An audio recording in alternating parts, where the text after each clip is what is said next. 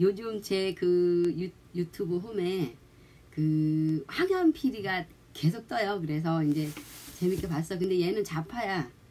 어, 뭐좀 그 검색해 보니까 뭐 김남국이 지지하고 뭐 그랬더라고. 근데 이제 걔가 뭐 그 검찰 개혁을 주장하면서 그 인사권이 대통령에게 있다. 그래서 저는 이제 그 그냥 그 대가리들만 이제 대통령이 임명하고 뒤에서 법무부 장관이나 이제 그 검찰총장이 임명하는 줄 알았어요. 근데 이제 아니라고 그러는 거야. 평검사까지. 그래서 내가 이제 법무부에 전화를 했는데 인사팀에서 전화를 안 받아요.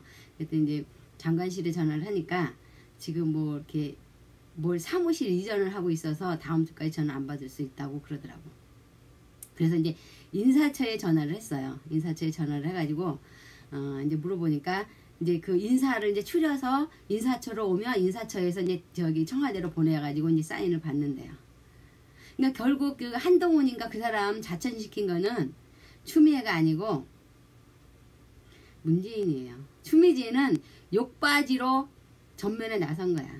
그러니까 지금 추미애만 씻고 있잖아. 김태우도 그렇고. 근데 그러니까 문제의 똥닦기로 이제 추미애가 산 거지. 그러니까 조국이는 그럴 저기는 안 돼. 한 달밖에 안 냈으니까. 그러니까 인사권까지는 저기를 안 왔던 것 같아. 이제 그런 그런 욕까지는 먹고 싶지 않았던 것 같아요. 근데 보통 사람들은 저도 이렇게 자, 저기 그 법무부에서 인사권이 있는 줄 알았으니까. 그러니까 그때 윗대가리 빼고 이렇게 평검사까지 청와대에서 인사를 자지우지하는지는 이제 처음 알았어요. 그 시발놈 새끼가 문재인 개잡놈이 응? 내가 그 장태원이하고 정수진이하고 이제 파면하려니까 개잡놈이 이제 꼼짝도 안 하고 있고 어? 판사 홍기찬이하고 박대산이하고 파면하려니까 꼼짝도 안 하고 이 문재인 개놈 새끼 깔고 앉았던 거예요. 나는 괜히 문 저기 윤석열이 그럼 그 그럼 악질이라고 내가 그랬어. 아, 악질이라고 그랬어. 근데 어 그것도 그놈도 악질은 악질이에요.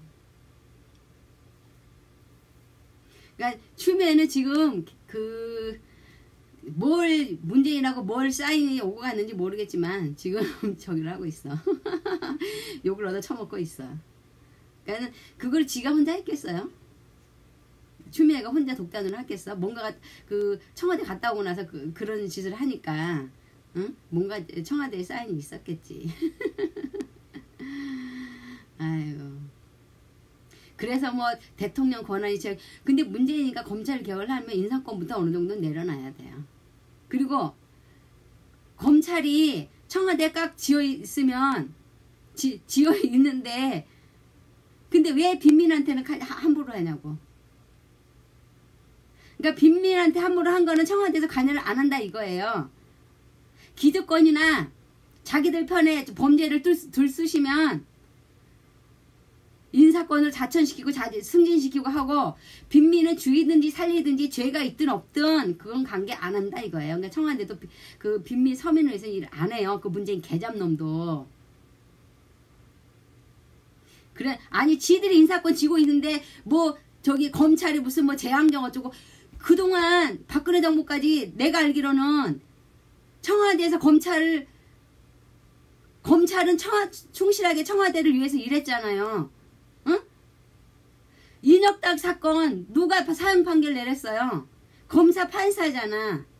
그러니까 그걸 안 하겠다 안 하는 걸로 나는 검찰 개혁을 나는 아, 받아 생각했는데 아니었던 거지. 와 이거 문재인이가 아주 여우 같은 놈이 아주 아주 웃기는 개 잡놈이 아주 진짜. 아니 지가 인사권을 가지고서 뭘 개혁을 한다고 그래. 응? 물론 모든 걸 청와대를 저기 그 가긴 가지만 어느 정도 재단권은 줘야 되잖아. 장관한테도 어느 정도 재단권은 주고. 응? 진짜 웃겨 죽겠어요 내가. 아 문재인이가 이렇게 이중적인 아주 철저하게 이중적인 놈이었어 아주. 아유. 그러니까 이제 90% 청와대 해주고 10% 따까리 안 한다고 지금 꼬장 부리는 거야 문재인 개잡놈이.